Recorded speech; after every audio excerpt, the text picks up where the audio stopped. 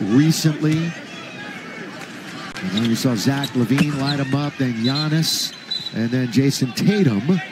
And tonight it's their number one guy, Jerami Grant. Uh-oh, uh-oh, Stewart and LeBron. Stewart is hot, and everybody's coming out now. Now, this is ridiculous. Yeah, he must have caught an elbow or something, but Oh yeah, he's he's got a lot of blood streaming from the side of the eye.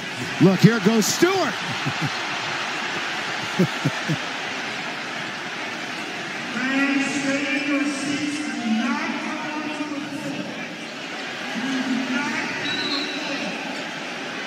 yeah, I think he's a little upset.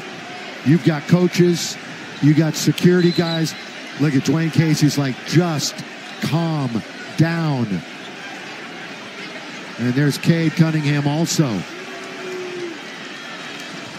It was along the free throw line on the free throw, and he's still trying to get loose.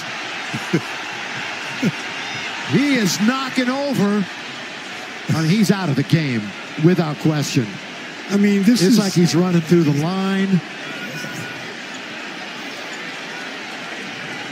That's nuts. That's just Yeah, crazy that's- right that's now. just crazy. That's crazy right now.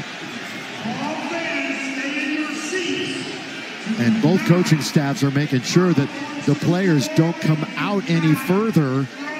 well. There's some players have drifted out. As, yeah, a little bit. Now, eh, you know, and when they review the tapes of this, they'll see which players were in the game and which players were along the sideline. Or you could look at the face and the blood pouring down the face of Isaiah Stewart.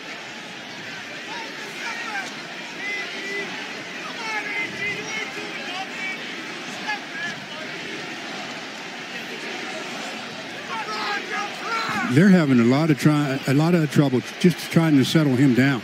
His his temper is just Wow. ridiculous. He'll probably do the Yeah. old thing where he runs along the tunnel and comes He's- out the other side. try to Remember? come out the other end. That happened at Staples Center a number of years And ago. they are warning, they are warning uh, the Lakers bench to watch for him coming out the other side.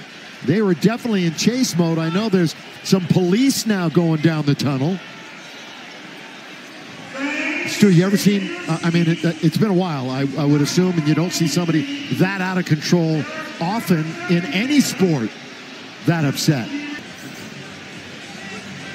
Jerami Grant shooting the free throw.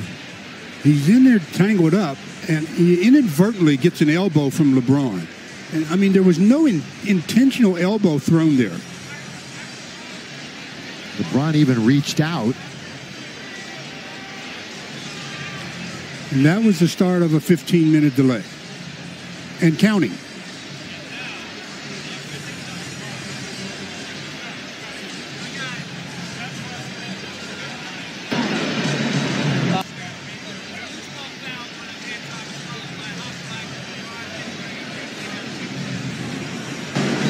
The trigger is for a uh, loose ball foul first. We have a hostile act after, and then an altercation that then not easily resolved.